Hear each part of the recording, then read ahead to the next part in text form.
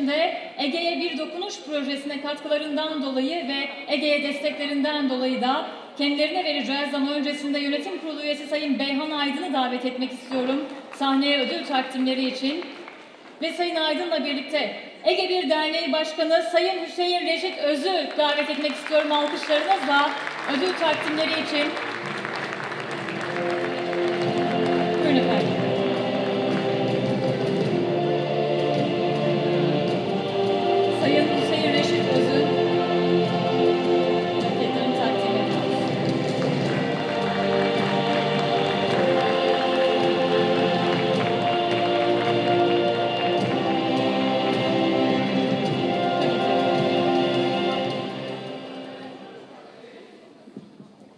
Hadi.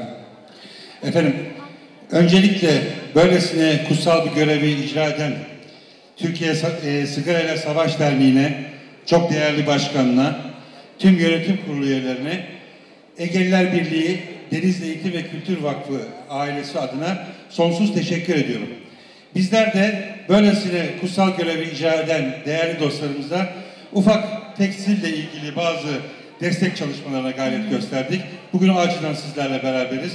Ee, bugün o çalışmaya çok ciddi destek veren çok değerli Buldan esnafı dostlarımıza, Buldan e, Dönmez ailesine, e, Buldan evine, Mehmet Muş'ta ne yazık ki bu şeyden sonra aramızdan ayrılan, vefat eden çok değerli Halil İnce Efeoğlu kardeşimize Allah gani gani rahmet eylesin.